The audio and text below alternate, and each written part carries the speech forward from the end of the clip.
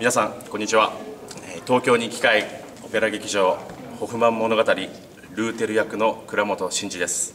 えー、ルーテルという役はいじられる役でして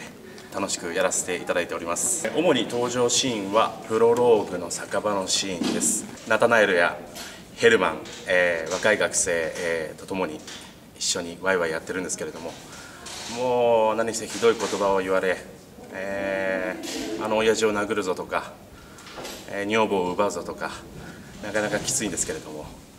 えー、そこを本当にお人よしのルーテルということで頑張らせていただきたいと思います、えー、ナタナエルとヘルマンの声も非常にいい声ですので負けずに頑張りたいと思います、えー、オペラというのは芸術の集大成でありまして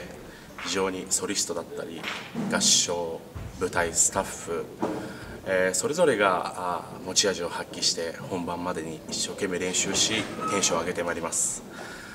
えー、ぜひその芸術の集大成といえるオペラを、えー、新国立劇場まで足を運んでいただきまして、え、見ていただけましたら幸いでございます。ご来場お待ち申し上げております。よろしくお願いいたします。